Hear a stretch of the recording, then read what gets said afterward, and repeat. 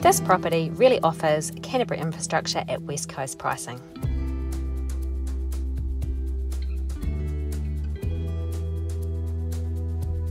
Converted seven years ago, the property has been well laid out.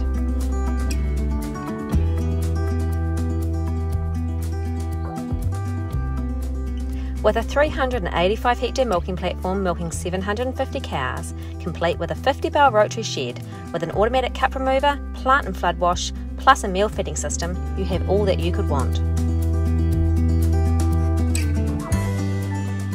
Located 30 minutes from Greymouth at Aratika, you have excellent location, and with the added bonus of the stunning views of the Southern Alps and Lake Brunner itself.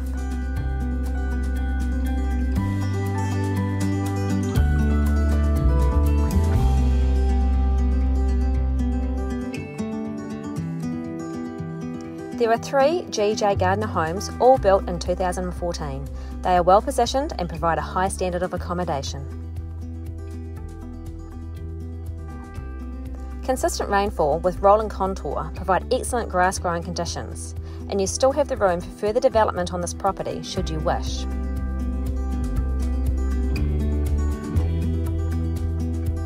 Fifty hectares of pines have been milled and the carbon tax paid, so this can be developed at any time. Two further pine blocks have been milled, a total of approximately 83 hectares. One has been done recently, and these will need to be left to regenerate or be replanted.